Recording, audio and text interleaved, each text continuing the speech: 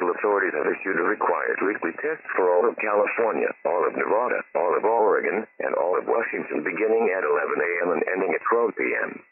Test message E pause open cap EAS feed configuration test message.